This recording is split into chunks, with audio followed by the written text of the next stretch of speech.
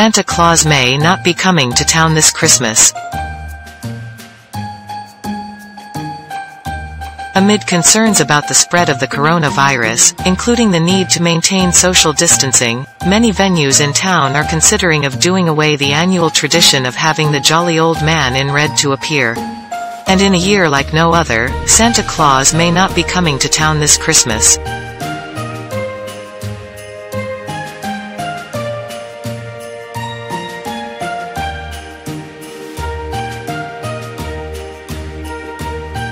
It will definitely be different from the way we celebrated Christmas last year and the years before as it is going to be a more solemn Christmas which will hopefully remind us of the essence of the celebration and not the materialistic side of things.